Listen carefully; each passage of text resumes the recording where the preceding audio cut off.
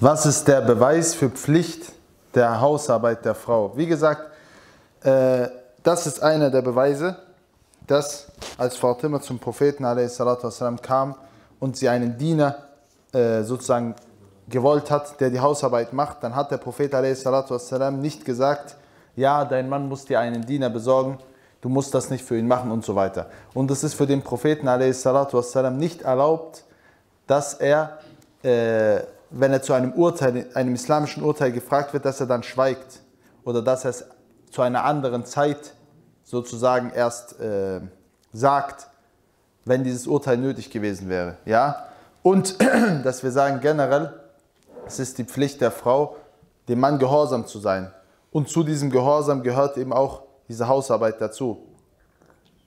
Und wir sagen, dass die Gelehrten, die gesagt haben, es ist nicht Pflicht für die Frau, die Hausarbeit zu machen, dass die auch gesagt haben, es ist nicht Pflicht für ihn, dass er sich um ihre äh, wie heißt das, um ihre gesundheitliche Versorgung, also zum Arzt oder zur Operation oder Zahnarzt oder was auch immer, dass er sich um diese Sachen kümmert, sondern dass sie das selber machen äh, muss, sozusagen, selber bezahlen muss.